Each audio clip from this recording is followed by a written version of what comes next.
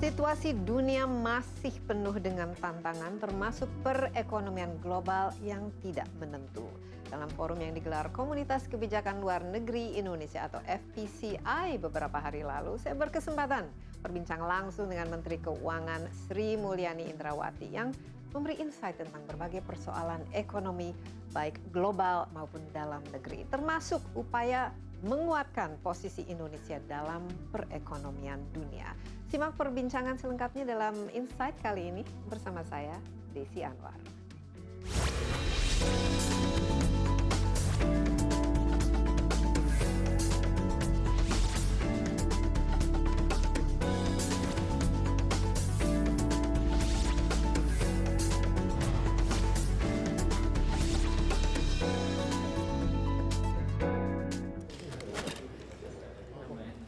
Pemerintah Indonesia saat ini harus bekerja keras menggenjot pertumbuhan ekonomi di tengah pelemahan ekonomi global.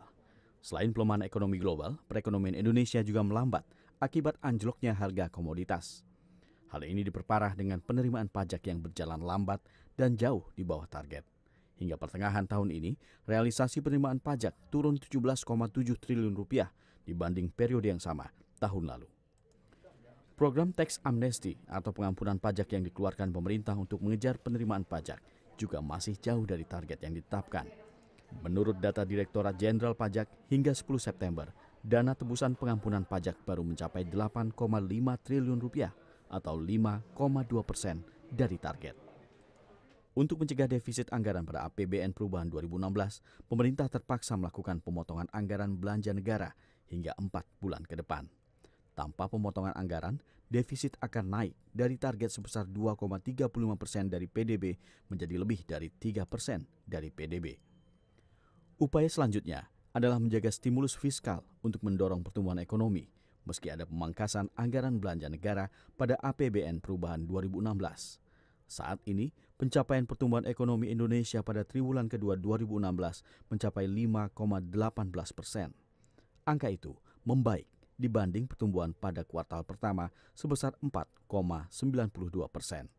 Stimulus fiskal harus dijaga agar target pertumbuhan ekonomi sebesar 5,2 persen tahun ini dapat tercapai.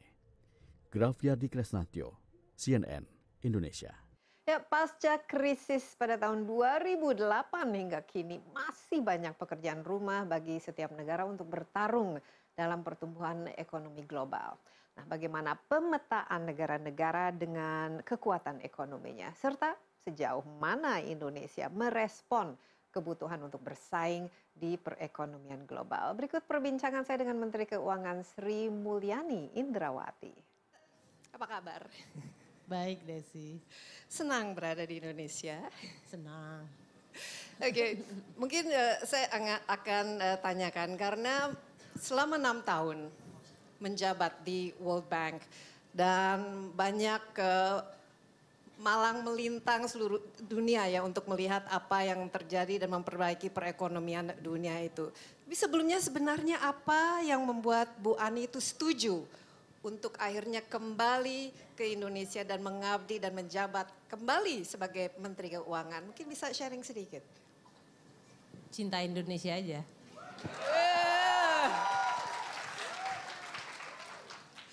Cinta Indonesia, that's a great answer.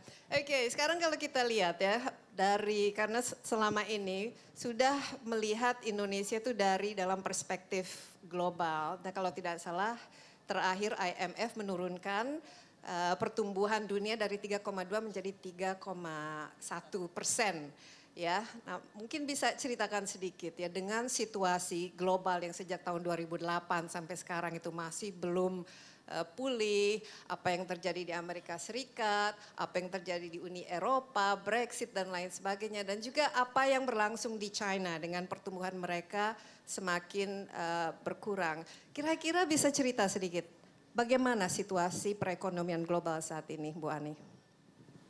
Terima kasih Desi untuk semua yang ada di sini. Selamat sore, uh, senang kembali di Indonesia dan bertemu dengan seluruh audiens di sini dan terima kasih sudah diundang untuk bicara pada sore hari ini. Uh, mungkin kalau saya harus bicara tentang perekonomian dunia dalam tiga menit gitu ya, karena kan masih banyak pertanyaan Desi tadi. Um, pertama bahwa dunia pada saat ini merupakan kondisi yang dihadapi dunia pada saat ini tidak terlepas dari krisis ekonomi yang terjadi tahun 2008-2009. Banyak negara-negara maju tentu kita ingat waktu itu dari mulai Lehman Brothers di Amerika yang kemudian merambat uh, persoalan financial uh, sector krisisnya ke negara-negara Eropa. Sama dengan negara yang pernah mengalami financial crisis, pasti negara itu akan mengalami konsolidasi dulu dari sisi perekonomian untuk kemudian apakah dia bisa recovering lagi. Karena kalau krisis terjadi itu berarti neraca, kalau seperti manusia itu nyawa kan, kalau institusi atau uh, entity ekonomi itu nyawanya adalah neracanya itu. Di dalam neracanya itu liability-nya terlalu besar dan equity-nya depleted. Dan itu yang kemudian menyebabkan ekonomi sebetulnya sudah fully apa utilize atau mengalami exposure terlalu tinggi. Kalau dalam perekonomian Amerika recovery-nya relatively cepat, itu juga karena waktu itu pergantian dari Presiden Bush ke Presiden Obama. Dan mereka melakukan banyak sekali quick fix di sektor financial. Dan kemudian juga melahirkan berbagai peraturan perundang-undangan untuk makin memperkeras uh, supervision untuk lembaga-lembaga keuangan karena belajar dari krisis. Eropa menghadapi krisis ekonomi atau financial itu dari konstelasi politiknya agak sulit untuk membuat a quick decision karena itu kan uni. Sehingga terjadi agak sedikit berlarut-larut dan ini yang menyebabkan kenapa Eropa kemudian mengalami agak lama proses perlemahan ekonominya. Uh, mungkin yang exception adalah United Kingdom yang kemudian dia melakukan voting untuk exit. Brexit ya. Sementara Cina yang selama ini growth-nya very impressive karena dia rely on market global global economy terutama dua engine of growth seperti Europe dan Amerika mengalami perlemahan dengan sendirinya demand terhadap produknya Cina juga akan mengalami penurunan. Uh, in addition to that, di Cina sendiri pola pertumbuhan selama the last 30 years itu tidak bisa diteruskan. So they have to change the growth modelnya untuk lebih rely on domestic dan dia juga menjadi the second largest economy in the world, artinya dia punya tanggung jawab untuk menjadi mesin pertumbuhan ekonomi dunia. So in short, dunia ini seluruh mesin-mesin pertumbuhan ekonomi sedang di dalam proses restructuring yang sangat serius. Sehingga memang mereka mengalami perlemahan dari sisi level of growth-nya. Pertanyaannya adalah seberapa cepat konsolidasi ini Tadinya diperkirakan after 2009 at least sampai dengan 2011, 2012. Tapi ternyata banyak sekali proses recovery itu berlangsung sangat lama.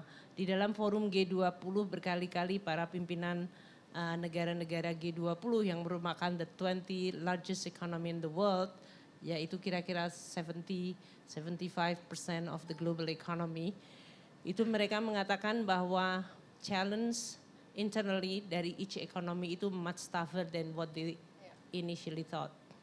Jadi kita tidak bisa lagi menstimulate ekonomi hanya menggunakan macro policy yaitu printing money more or uh, uh, producing more money melalui quantitative easing atau lowering the interest rate atau juga tidak bisa juga me, menstimulate ekonomi dengan spending government money more melalui fiscal deficit So at the end, in order for the economy untuk growth lagi, dia harus melakukan reform yang sifatnya konkret, real, structural. Dan yang paling penting adalah whether the world will be able to have a new invention, innovation, yang sama seperti waktu terjadinya iPhone, yeah, yang kemudian Apple, Apple Samsung, yang dan kemudian menciptakan the excitement dan a new, uh, both on a demand side as well as on a supply chain. Ini adalah situasi yang dihadapi ekonomi uh, dunia. That, that's why tidak uh, tidak tidak aneh kalau kita melihat lembaga seperti IMF World Bank melakukan revise down dari uh, projection of economic growth.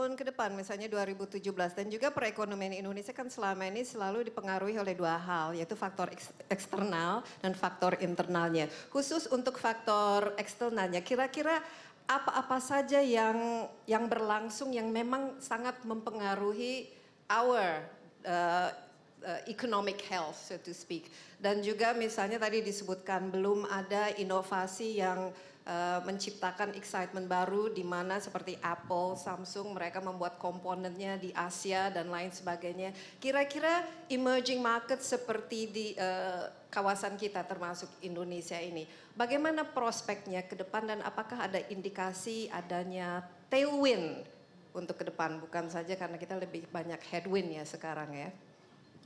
Kalau dari sisi global side uh, yang memang di anggap sebagai the very challenging dari recovery process ini adalah um, tidak terjadinya trade activity seperti sebelum terjadinya crisis. Jadi even after crisis 98 in uh, 2009, 2000, uh, 2008, 2009, and it's already seven years, the trade growth itu masih very very weak kita melihat angkanya mungkin hanya sekitar 3 3,5 persen. Dalam kondisi sebelum krisis itu global trade itu ada di biasanya double digit. Itu what does it mean? It means banyak negara, terutama negara-negara emerging atau developing countries, itu tidak memiliki source of growth yang berasal dari eksternal. Karena memang banyak sekali developing country itu biasanya untuk dia mulai menjadi negara middle income, dia biasanya mengandalkan karena domestic marketnya masih weak karena dia kan masih low middle income. Jadi dia merely atau tergantung kepada uh, pasar dari luar negeri dan itulah yang kemudian menarik banyak. Cina itu bisa menjadi negara relatively middle upper income country karena dia rely on growth dari trade ini. Jadi kalau global trade itu begitu lemah, memang banyak negara berkembang akan suffer longer dan tidak punya source of growth alternatif. Dan dengan global growth dan demand yang sangat lemah, commodity itu harganya akan relatively weak. Karena tadi Desi menanyakan apa yang relevan untuk Indonesia. Itu dua hal itu yang sangat relevan yaitu trade akan weak and commodity price akan uh, rendah. Apa yang mungkin bisa menjadi blessingnya? Dengan suasana ekonomi dunia yang masih weak, maka macro policy terutama dari monetary policy akan relatively akan loose. Dan itu berarti plenty of liquidity outside. Berarti kalau Indonesia bisa memperbaiki iklim investasi dan itu yang dilakukan dengan paket kebijakan deregulasi yang begitu banyak, itu tujuannya adalah untuk attract money coming to Indonesia karena it's not about uh, the money, but it's about confidence dan apakah dia punya uh, kepercayaan bahwa demand itu akan ada dan Indonesia dengan um, size of the economy maupun populationnya yang cukup besar kita memiliki juga daya atraktif dari sisi uh, domestic demandnya. Jadi kita masih atraktif. Bu Ani kan baru saja kembali dari G20 di Hangzhou ya di China. Kira-kira bagaimana negara-negara yang tergabung dalam G20 ini memandang Indonesia? Di kawasan ini mulai tahun 2016 seperti teman-teman ketahui kita kita sekarang merupakan bagian dari the ASEAN Economic Community. Berarti ada semacam uh, free flow of trade, services, and people ya, and labor moving in. Bagaimana mereka melihat Indonesia dan apa kira-kira kesempatan yang bisa kita ambil khususnya untuk membangun trade relationships uh, di luar misalnya China karena selama ini kita sangat tergantung pada China tapi dengan harga komoditas yang semakin menurun kita kan tidak bisa mengandalkan, kita harus mencari teman-teman yang baru. Apa kira-kira yang bisa dilakukan? Kalau G20 di level head of state, itu memang masing-masing head of state tentu akan present depending on the topics ya. Karena topik yang pertama adalah mengenai masalah economic uh, growth, uh, kemudian investment, infrastructure, uh, masuk kepada masalah trade dan kemudian masalah non-economic factor seperti terorisme dan lain-lain dari sisi uh, ekonomi masing-masing negara present dan kita akan lihat bahwa Indonesia kalau diukur dari sisi growth di antara 20 negara terbesar ini kita nomor tiga tertinggi sesudah India dan China. Banyak negara emerging country saat itu adalah tentu saja Brazil ada new president coming, kemudian uh, Mexico, uh, Argentina adalah new president coming, Putin sebagai uh, uh, apa Russia itu semuanya growth-nya atau Zuma dari South Africa pertumbuhan ekonominya tidak terlalu bagus. Mereka terpukul sekali dengan yang tadi yang saya sebutkan trade very weak dan commodity. Kayak Argentina itu nol. Uh, Brazil dari negatif minus 6 sekarang minusnya agak sedikit baik yaitu minus 2 atau Venezuela lagi kacau. Venezuela, oh, Venezuela is not the G20 at all. Jadi kalau kita lihat Zuma dalam hal ini South Africa juga akan sama. Jadi kalau kita lihat banyak emerging country walaupun mereka relatively sudah emerging tapi ekonominya itu ternyata masih sangat quite dominated by the commodity based economy. Uh, waktu ditanya, so what is the source of growth untuk negara-negara ini including Indonesia? Sebetulnya waktu terjadinya ada sedikit euforia, waktu krisis terjadi 2008-2009 karena saya ada di Washington waktu itu. You really can see sesudah post crisis, sesudah 2009 itu, 2010 saya join the World Bank, itu pusat krisis kan masih di Amerika, di Eropa, dan to some extent Jepang mulai konsolidasi, makanya kemudian dikeluarkanlah Three Arrow Reform dari uh, Prime Minister Abe. Negara-negara maju relatively dia itu menjadi sangat uh, apa humble dengan experience yang dia hadapi. Sementara waktu itu Cina masih sangat kuat, Brazil, uh, Russia, even South Africa itu enjoying a high growth karena waktu itu commodity price masih very high. Dan China memang melakukan deficit financing untuk mengcounter cyclical dari global economy yang sangat weak waktu itu. Jadi kalau kita lihat retorik di dunia internasional, emerging country itu mengatakan see now the crisis is actually in an advanced country and we are all right. We are good, we are strong, we are alright, and we are going to take over the world. Kira-kira kayak gitulah. Makanya kemudian muncul AIIB, kemudian New Development Bank. Tapi ini kan sebetulnya a little bit false expectation dari sisi bahwa mereka itu tumbuh relatif tinggi karena waktu itu Cina masih mampu untuk tumbuh tinggi melalui ekspansi fiscal policy-nya. Begitu Cina merasa bahwa you can no longer use the same policy tool again and again, dan dia sendiri structurally memang harus change, maka weakening itu terjadi dan kemudian domino efeknya mulai terjadi. Jadi kalau hari ini di meja G20 itu semuanya punya tone of humility lah. Semuanya merasa iya dah kita semua sakit gitulah. Udah nggak usah merasa ada yang paling hebat dan paling sehat. Mungkin a little bit exception adalah Perdana Menteri Modi dan Presiden Jokowi. Kan kita masih lumayan itu, kan, ya. masih lima persen kan. Iya, artinya mereka yang mengatakan bahwa we still have a source of growth. Tapi memang even itu pun kita juga harus with a lot of uh, humility untuk melihat apakah source of growth itu bisa bertahan lama dan apakah dia resilience enough terhadap environment yang diperkirakan akan weaknya itu prolong. Ya, perbincangan saya dan Menteri Keuangan Sri Mulyani masih berlanjut khususnya membahas perekonomian dalam negeri. Setelah informasi yang berikut ini tetaplah bersama Insight.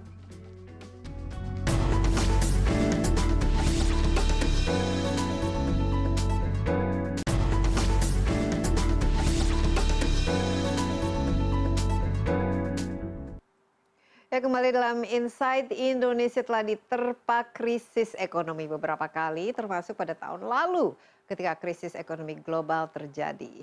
Berbagai upaya memulihkan perekonomian tanah air pun dilakukan pemerintah, mulai dari mengeluarkan berbagai paket kebijakan hingga penyesuaian anggaran APBN. Ya, nah ini menarik karena kan Bu Ani sudah enam tahun bisa melihat Indonesia dari jauh bagaimana? Uh, how is our competitiveness compared to misalnya negara-negara tetangga kita? Apalagi sekarang kita sudah menjadi bagian dari ASEAN Economic Community. Dan juga nanti dengan adanya misalnya uh, ini US Fed kan sampai sekarang kan masih belum tentu ya uh, arahnya itu ke mana, kapan akan meningkatkan suku bunga dolar itu sendiri. Nah, seberapa resilient sih sebenarnya kita khususnya terhadap capital outflow bila terjadi sesuatu yang membuat orang, apalagi uh, investasi itu hengkang dari Indonesia. Dalam enam tahun terakhir, are we getting better? Are we getting more competitive? Are we getting more resilient? Are we on the right track? Atau sebenarnya kita masih begitu-begitu saja? Kalau dari sisi potensi ekonomi Indonesia, size dari marketnya, natural resource-nya, dan a growing middle class itu adalah the strength. Dan itulah yang menyebabkan banyak minat untuk masuk juga ke Indonesia karena you actually can diversify your investment in Indonesia. Bayangkan kalau kita dengan middle class dan mereka sekarang sudah mulai kelihatan dari behaviornya, dari mulai demand for services like culinary, tourism, sampai kepada the sophisticated, more saving pattern dari middle income. Dia dulu adalah kalau dia punya income lebih dan dia hanya taruh aja di tabungan, lama-lama menjadi deposito, lama-lama dia membeli surat utang berharga negara atau sun atau sukuk atau yang lain-lain. Lama-lama dia masuk kepada pasar saham. Jadi kita sudah melihat bahwa ada developing the sophisticated more saving di Indonesia terutama pada household. Itu adalah suatu opportunity. Jadi kalau Anda lihat minat untuk masuk ke Indonesia dari sektor financial maupun non financial itu udah sangat uh, strong. Another thing kalau kita compare dengan emerging country, Indonesia relatively diversified. That's why kalau Anda lihat walaupun kita juga suffer karena commodity price, kita tidak sedalam seperti South Africa. Kita tidak sedalam seperti Russia. Mungkin Brazil a little bit different story-nya karena more political complication rather than structure of the ekonominya sendiri. Jadi dari sisi itu Indonesia punya fondasi dan growing prospect yang atraktif untuk capital. Pertanyaannya adalah kalau mereka masuk ke dalam, kenapa dia tidak masuk dalam long term tapi dalam bentuk short term? Tapi itu selama financial dan capital market makin lama makin deep, walaupun dia masuk dalam instrumen short term, dia sebetulnya bisa stay stay longer. Apa yang perlu dilakukan Indonesia untuk membuat mereka itu datang ke Indonesia nyaman dan kemudian tidak eh, mudah sekali terpicu oleh rumor atau suatu action yang kemudian dia akan balik katakanlah seperti Janet Yellen dari Federal Reserve baru mengumumkan mungkin saya menaik terus kemudian orang melakukan flight to quality. Itu adalah kalau kita harus fondasinya makin baik. What does it mean?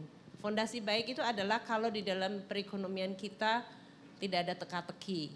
Artinya ekonomi kita itu relatively adalah clear, what is the direction yang kita mau tuju, apa policy ingredient yang kita mau pakai, dan semua puzzle-nya itu match. Jadi kalau kita bilang monetary policy, fiscal policy, uh, sectorial policy, dan kemudian masyarakatnya sendiri. Nah dalam hal ini kemarin mungkin fiscal policy yang sekarang I have to be in charge, itu dianggap sebagai salah satu yang vulnerable karena pemerintah keep telling that we are going to get the revenue yang dua tahun berturut-turut we cannot achieve. Dan itu menimbulkan teka-teki tadi.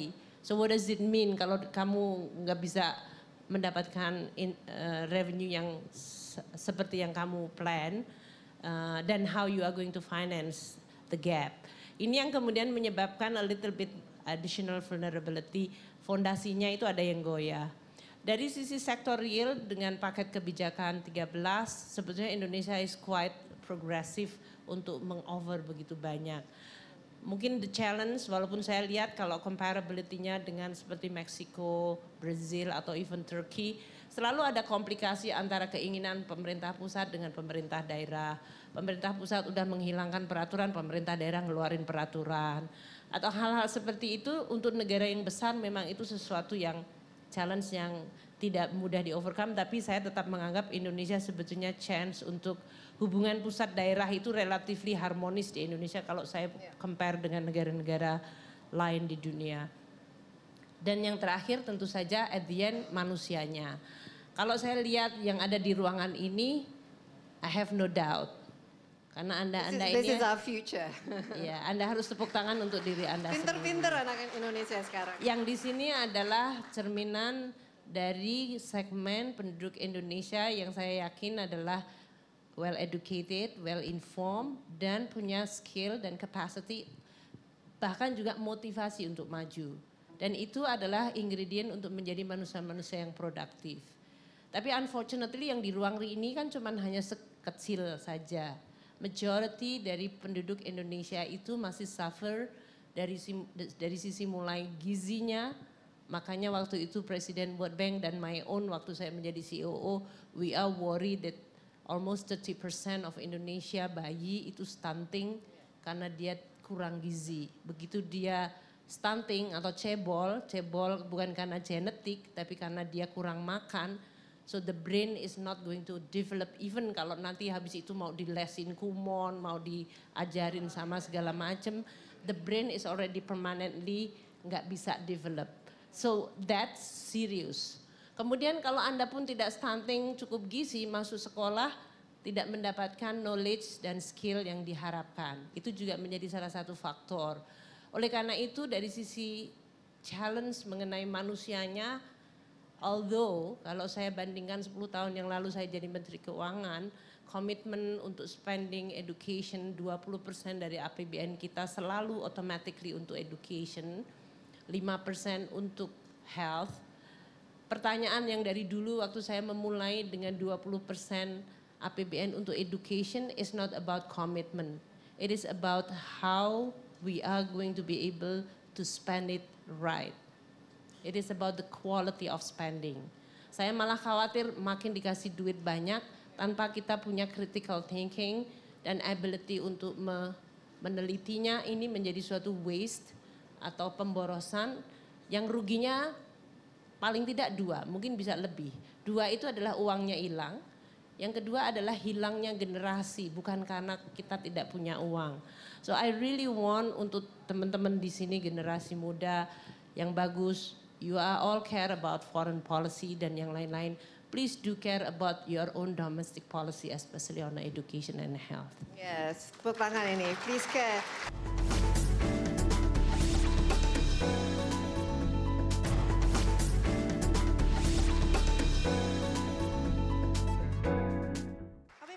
Salah satu yang dielu-elukan yang mengenai Indonesia selain jumlah populasi kita yang sangat besar 250 juta, apa yang disebut itu bonus demografi ya? Karena kita memiliki uh, young people kita itu masih jauh lebih banyak daripada misalnya orang-orang yang masih bergantung misalnya uh, yang sudah uh, tua usia pensiun atau yang masih sekolah yang masih harus dibiayai. Dan kita harusnya kita itu bisa betul-betul menggunakan produktivitas kita ya untuk membangun bangsa ini. Nah, sekarang um, Bu Ani ini kan sudah masuk ya menjadi mau tidak mau yang membereskan masalah-masalah uh, perekonomian dan keuangan di Indonesia. Waktu itu masih bisa melihat dari perspektif uh, Bank Dunia, apa-apa yang masih harus diperbaiki. Nah, kita lihat juga keseriusan dari pemerintahan uh, Pak Jokowi untuk memperbaiki. Makanya sudah ada sekarang 13 paket kebijakan. Wah, bertubi-tubi itu dikeluarkan. Ada target-target yang sangat ambisius untuk membangun infrastruktur misalnya, tapi ada juga uh, mungkin yang uh, tidak tercapai yaitu antara ke APBN-nya dan juga revenue dari pajak yang sampai saat ini masih belum bisa kita achieve. Waktu pertama kali Bu Ani Anda menjabat fix it ya. What did you do? What did you? How did you see it? Bagaimana evaluasi terhadap pelaksanaan paket-paket kebijakan ini seperti apa? And I know the first thing you did itu pangkas lagi itu APBN 133,7 triliun bulan Agustus. Ini berarti berkurang lagi dan kita hanya memiliki empat uh, bulan lagi sebelum akhir tahun 2016 ini. So what are your main priorities dan what can we expect from you? Ya sebetulnya seperti yang tadi saya sebutkan. Karena Indonesia pada dasarnya perekonominya fondasinya relatively bagus kalau dibandingkan dengan negara-negara lain. Size-nya cukup besar, demografiknya masih muda, ada growing middle class jadi ya saya katakan secara natural Indonesia itu menarik. Sama seperti Desi cantik, secara natural Thank udah you. cantik gitu loh. Ah, bahan dasarnya udah cantik gitu loh. So jangan sampai salah kasih make up jadi jelek gitu kan. Jadi Indonesia juga sama hal-hal yang kita mau perbaiki dari sisi fondasinya. Bahwa salah satu yang saat itu dipertanyakan adalah APBN. Makanya waktu join tentu yang pertama kali adalah how you are going to make the fiscal policy itu menjadi suatu instrumen yang kredibel dan efektif. Karena government is not supposed to be a source of problem. Government is supposed to be a source of solution. Ya.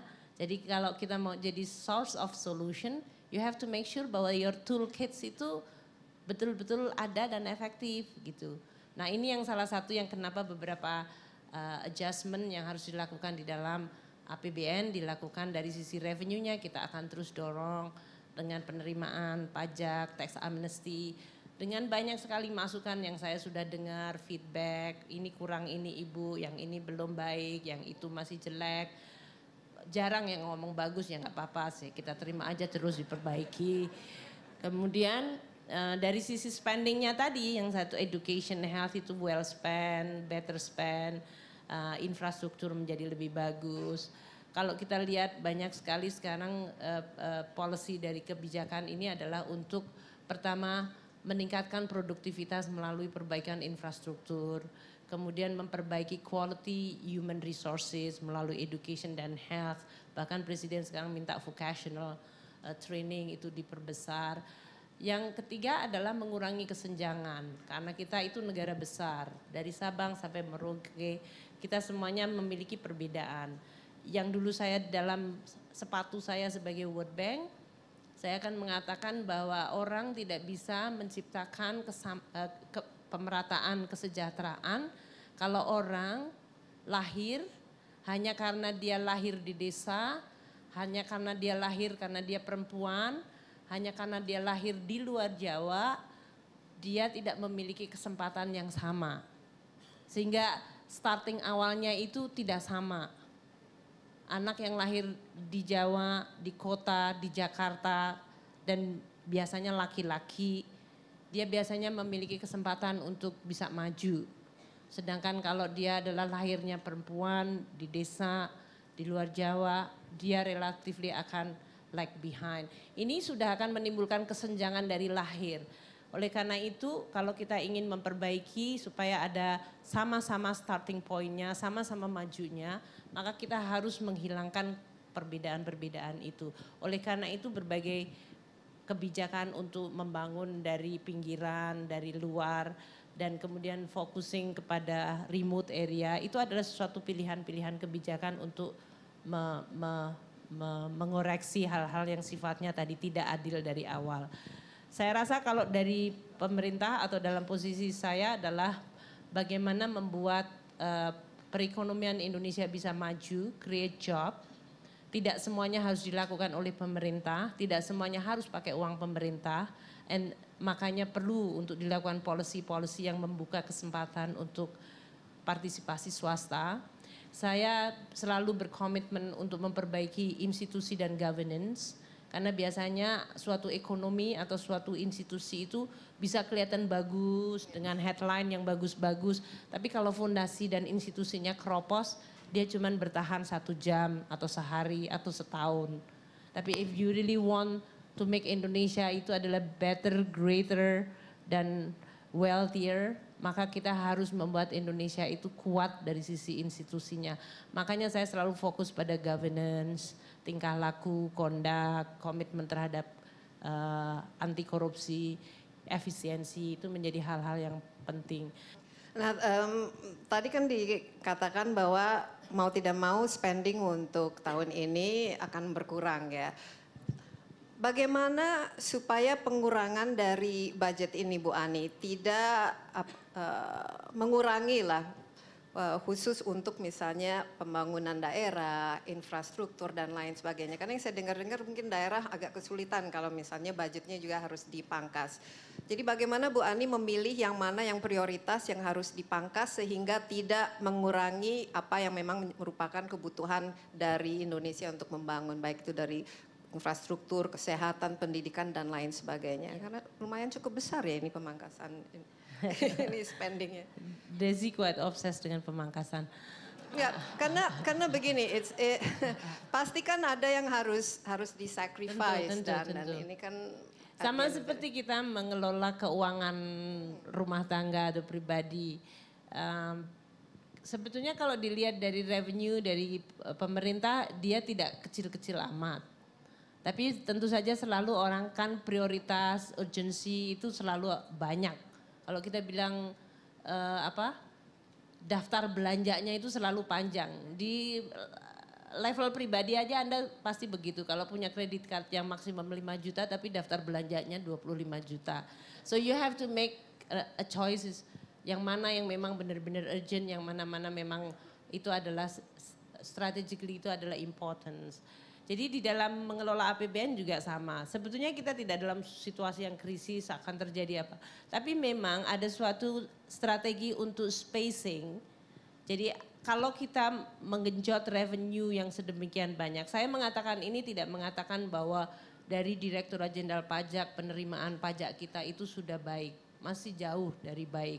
Dan oleh karena itu room for improvement ada. Tapi saya tidak mengatakan katakanlah kalau saya harus improve tidak kemudian tiba-tiba besok itu dia bisa naik pendapatannya lima kali lipat atau dua kali lipat. Karena itu seperti kita membeli impian juga. Jadi while we are improving, we are going to make sure bahwa penerimaan itu tambah dan memang yang harusnya dikolek oleh pemerintah yang harus dikolek juga. Di sisi lain dari sisi spendingnya tadi karena kita perlu melakukan pemotongan atau penundaan karena ini is a combination of two tidak hanya semuanya dipotong sebagian adalah ditunda di dalam mekanisme APBN atau budgeting kita sebetulnya ada mekanisme untuk tidak mengatakan dan oh we don't have money atau the money is not enough kamu potong sekian terus berhenti di dalam mengelola eh, budget termasuk perekonomian adalah anda sebetulnya bisa melakukan apa yang disebut dalam bahasa teknisnya peluncuran. So let's say kalau kita mau bangun apa eh, jembatan atau road gitu ya. Yang harusnya mau kita selesaikan 6 bulan, kita bisa stretch menjadi 12 bulan. Sehingga kita cash flow-nya itu bisa. Tidak berarti kemudian bahwa oh karena nggak cukup duit kita berhentiin aja jembatannya. Tidak begitu. So you can still doing it. Dan dengan demikian yang tadi disebutkan the pain kalau mengurangan ini tidak akan menjadi besar dan tidak me- me- mengurangi. Kalau dari sisi ekonomi makro sebetulnya kita bisa lihat growth dari government spending itu masih menjadi salah satu engine. Sama sekali defisit sekarang itu di anggaran disebutkan 2,41 tapi mungkin realisasinya akan lebih dari itu. That is source of growth. Consumption dari masyarakat yang mengexplain atau menjelaskan banyak sekali dari pertumbuhan ekonomi kita juga masih relatively growing. Yang mungkin a little bit weak adalah investment dari dari company karena tadi company-company ini yang terutama yang commodity base dia tidak punya revenue cukup sehingga dia tidak bisa in- invest. Bank yang selama ini memberikan pinjaman kepada perusahaan, perusahaan-perusahaannya sedang rada sakit dan banknya sendiri kemudian terkena sedikit NPL, dia harus konsolidasi. Jadi memang mereka melakukan beberapa adjustment yang menyebabkan a little bit slowing down. Makanya kan growth-nya direvisi ke bawah. Ya, jadi eh, 5,1 ya 5,1. So I think at the end it is the direction. Yang kedua adalah naratif seperti ini. Kalau kami bisa menjelaskan polisinya relatively konsisten semuanya. Dan yang ketiga adalah clarity-nya. Jadi kejelasan, tidak ada yang satu kotak terdiri dari berbagai macam pasal, ada satu pasal yang gambarnya nggak jelas. Tapi semuanya udah jelas kalau diketemukan pasalnya, oh gambarnya itu kayak gini. Dan yang ketiga adalah komitmen untuk melakukan hal-hal yang tidak mudah. Hal tidak mudah itu seperti kalau presiden komplain mengenai dwelling time. Itu adalah sesuatu yang mungkin orang nggak lihat tapi itu is so real. Pengusaha merasakan betul kalau Anda memasukkan barang ke Indonesia melalui port and it takes more than three days, bahkan bisa seminggu. Itu sesuatu yang real, presiden bahkan sangat detail dan kita lihat who's actually responsible for seminggu itu. Ada bea cukai, ada karantina, ada badan POM, ada segala macam. So each institution harus contribute. Modi itu punya juga ambition untuk reform. Tapi dia bilang saya mau reform pajak saya bikin. Tapi it takes 18 months untuk dia even pass the undang-undang. Untuk pass undang-undang aja. Nanti kalau undang-undangnya di pass kayak seperti tax amnesty baru implementasinya gedumbrangan itu juga bikin masalah lagi kan. Jadi itu adalah stages of what you call it policy making process. Saya kalau melihat seperti itu Indonesia is quite advanced komitmen presidennya, keinginannya, tujuannya, dan bahkan pada sampai pada titik paket-paket yang disampaikan. Mungkin dari sisi naratif dan cara kita menjelaskan Indonesia mungkin bisa lebih baik.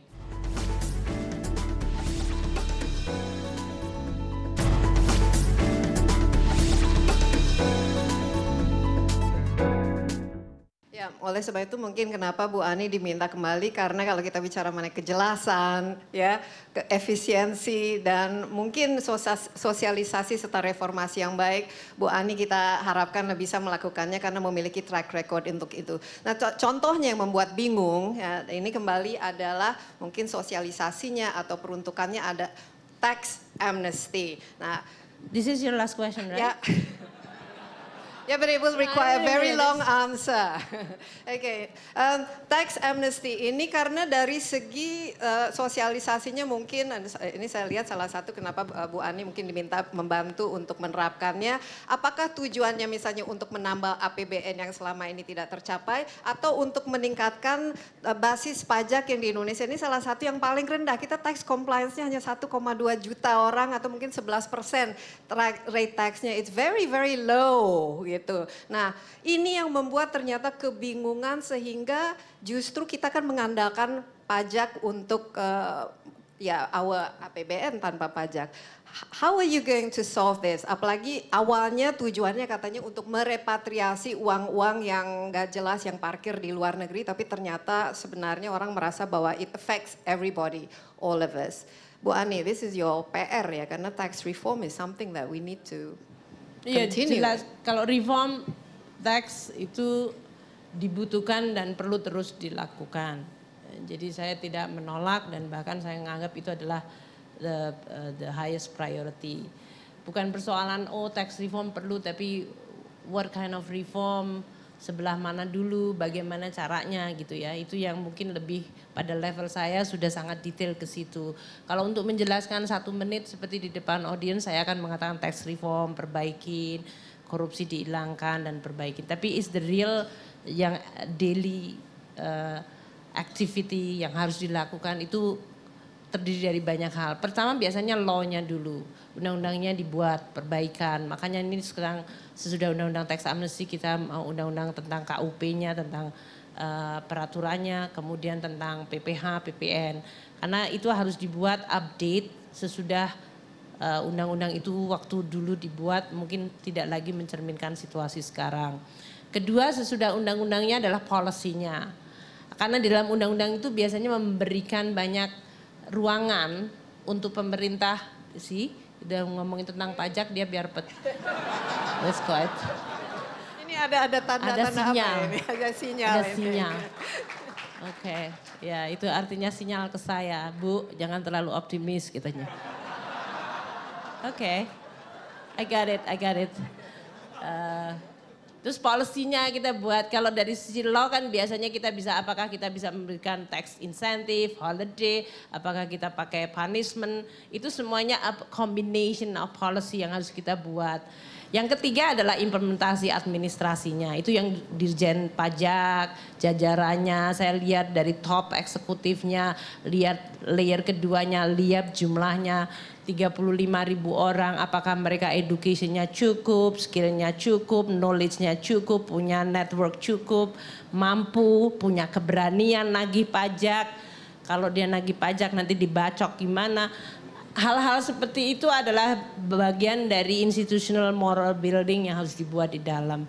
Jadi saya rasa itu dilakukan. Tax amnesty is part of the whole story dari uh, story tentang perpajakan. Tadi Desi mengatakan bahwa compliance kita rendah, taxpayer kita on the book sebetulnya kita punya sekarang 20 jutaan di dalam database kita tapi majority adalah orang-orang yang dulu kalau dalam profesi saya sebagai dosen di Universitas Indonesia, saya dapat gaji langsung dipotong. Itu PPH pasal 21. Kalau saya punya NPWP dan kalau asumsinya saya nggak kerja di mana-mana, nggak jadi pengamat, nggak dibayar dan yang lain-lain, it's my only source of income adalah dari dosen ngajar tiap bulan, PPH 21, saya sebetulnya SPT-nya itu nggak perlu ngisi lagi. Dan majority bukan nih ya sudah diambil sama pemerintah jadi kalau untuk hal itu adalah apakah bendaharanya nyetor atau enggak gitu, bukan pada masalah apakah. Dan majority masyarakat Indonesia adalah single earner seperti itu. Nah mereka yang sebetulnya single earner kemudian punya second triple earn, earning yang mereka kemudian compliance-nya enggak dilakukan. Jadi dia tetap melaporkan yang single earner padahal dia itu punya usaha kecil, dia punya itu. Katakanlah banyak lawyer kita salah satu lawyer di Indonesia sekarang ikut tax amnesty. It, it says a lot about bagaimana bahwa kita itu banyak profesional that you have a lot of other incomes, tapi selama ini Anda hanya comply partially. Atau bahkan nggak comply sama sekali. Karena di dalam tax amnesty kita boleh Anda sekarang ikut tax amnesty meskipun belum pernah punya NPWP sekalipun. Itu kan menggambarkan bagaimana ini adalah suatu gerbang yang diciptakan. Spiritnya adalah let's start something new. Let's let's build trust. Let's start building Indonesia with a new foundation. If you care about this country dan negara memiliki kewajiban untuk membangun negara ini, melindungi warga negaranya, membangun kesehatan, pendidikan, infrastruktur, eh, keamanan, dan negara juga punya power berdasarkan konstitusi untuk collect money from the people. Itu bukan penjajahan karena banyak di dalam sosmed-sosmed itu mengatakan, walah ini kan saya pikir negara merdeka kok saya harus bayar pajak gitu. Di seluruh dunia yang negara merdekanya sudah 200 tahun kayak Amerika bayar pajaknya banyak banget. Jadi tetap aja arti bayar pajak is not about penjajahan atau enggak. It is about that the country kalau kita menjadi negara merdeka then you have to pay something for, untuk menjaga kemerdekaannya itu. Dan itu adalah dilakukan oleh para taxpayer-nya. Nah, jadi karena kita compliance-nya masih coreng-moreng selama ini, we want to start new dengan tax amnesty. Yang sebetulnya kata salah satu staf pajak saya ini, Bu, tax amnesty itu adalah barang bagus, harganya murah. Artinya apa? Tidak banyak banyak negara lain seperti di Italy dia melakukan tax amnesty itu sebetulnya Anda cuma dihilangkan amnestinya dari sisi sanksi administrasi. Tetapi Anda tetap bayar full pajaknya. Kalau dia pajaknya 20% ya 20%. Indonesia sudah Anda hilang sanksi administrasi, hilang sanksi kriminal, bayarnya cuma 2%. Enggak ada yang tepuk tangan loh, heran saya. I mean, dan even kalau Anda adalah usaha kecil menengah yang 4,8 persen, you only pay 0.5 persen. Bayangkan that kind of cheap rate untuk menjadi bagian dari warga negara Republik Indonesia. Anda menjadi bagian Republik Indonesia yang merdeka, yang negara yang bagus ini dengan cuman bayar segitu. You have to think it that way. Terutama saya ngomong di depan audiens seperti ini. Saya paham masyarakat punya perasaan ketidakadilan karena di Indonesia satu persen yang paling kaya menguasai 50 persen dari aset. That's the one that saya akan cari, saya akan kejar. But it doesn't mean bahwa anda anda kemudian cari dong yang satu persen dulu saya nggak usah dipajakin. Eh ya nggak gitu dong. Ini republik kita sama-sama bukan republik satu persen kan. So that's why saya mengatakan ini adalah suatu kesempatan untuk membangun kepercayaan baru. It's a very very tough job. Saya pikir saya nggak akan pulang ke Indonesia kalau saya hanya akan menjadi apa mengerjakan hal-hal yang gampang gitu. Saya tahu ini adalah mudah dan ini is something yang merupakan pertaruhan untuk republik ini jadi saya lakukan yang terbaik, saya akan coba untuk membangun trust itu. Tapi dalam hal ini saya membutuhkan Anda semuanya untuk juga membantu. Bukan membantu saya, membantu Republik ini. If you care about the country, and especially karena Anda katanya ini foreign policy club, your job is so passionate about foreign policy, you cannot look good in the global kalau di dalam negara Anda amburadul. Nggak ada aja. Sri Mulyani keren karena Indonesia keren. Ada Ayo yang belum punya NPWP. Coba. Jadi Anda harus punya NPWP, harus bayar, gunakan teks amnesti. Saya masih dengar sampai hari hari ini saya dengar WhatsApp, oh saya sudah ke KPP harus antri nomornya 10, tutup jam 10, mejanya cuma tiga, petugasnya cemberut, yang ini nggak ngomong. Banyak banget. Tapi it's okay, I'm going to try to fix it satu-satu, diperbaiki aja terus. Tapi Indonesia perlu orang yang terus-terus care untuk memperbaiki aja in all front. Anda pun di mana aja perbaiki negara ini melalui cara Anda masing-masing. In my capacity, saya sekarang punya tanggung jawab untuk perbaiki, ya saya perbaiki. So, with your support, I hope we can do it better. We can make Indonesia stronger, resilient, better, dan at the end menjadi negara that you can be very proud of. Thank you very much. Ya demikian perbincangan saya dengan Menteri Keuangan kita yang baru Sri Mulyani Indrawati dan memang kondisi perekonomian dunia saat ini masih belum benar-benar pulih dari krisis ekonomi yang terjadi pada tahun 2008 lalu. Tentunya ini menjadi tantangan berat bagi negara berkembang yang terdampak imbasnya, termasuk Indonesia. Namun di sisi lain kondisi kondisi ini juga menciptakan peluang bagi Indonesia dengan memperbaiki kebijakan fiskal dan iklim investasi, Indonesia akan diharapkan mampu menarik kepercayaan investor dan juga menjaga tingkat pertumbuhan ekonominya. Demikian insight kali ini. Jangan lupa saksikan kembali insight besok bersama saya, Desi Anwar. Sampai jumpa. तब आएँगे